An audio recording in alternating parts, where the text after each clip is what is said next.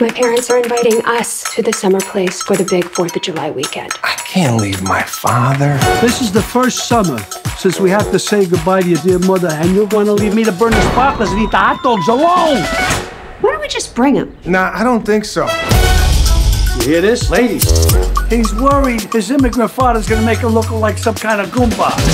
Listen, if we're gonna do this, Dad, you gotta dial it down with the. the, the What all the... Oh, this, this, well, well, what is this? Welcome to White Oak. Wow, this is amazing.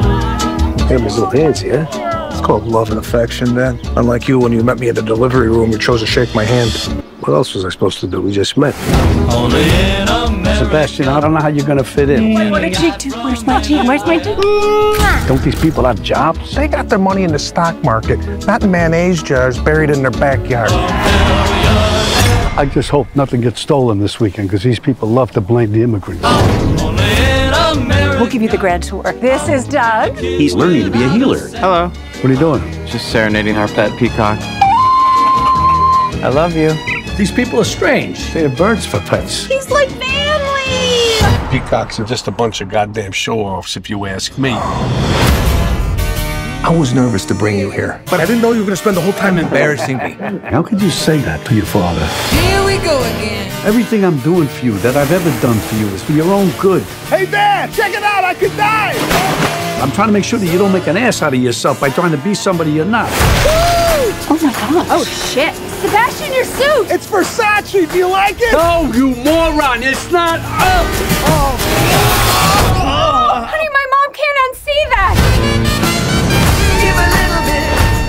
I would love to make a full Italian dinner for everybody. We don't keep a lot of food here. Maniscalco always finds a way to feed his family. My father has an old Italian saying family isn't one important thing. It's everything. I can't believe you put this all together from what we have in the kitchen. It's artichoke and poultry. So, Oh, no.